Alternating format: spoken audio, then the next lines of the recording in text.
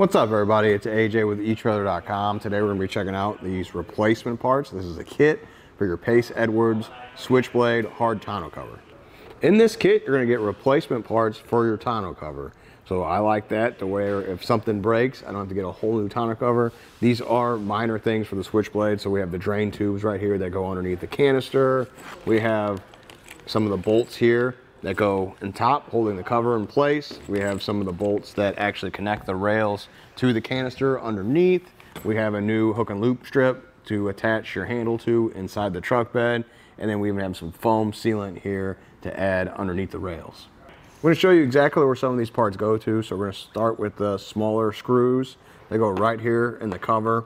So if one's missing or damaged, you can just remove it or add one of these replacement ones right in the same spot.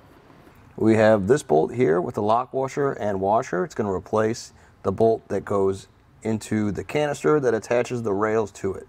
It's going to come with two drain tubes, so you can replace any of them that might be damaged on either side. You're also going to get this hook and loop strip that you can tape into the inside of your truck bed.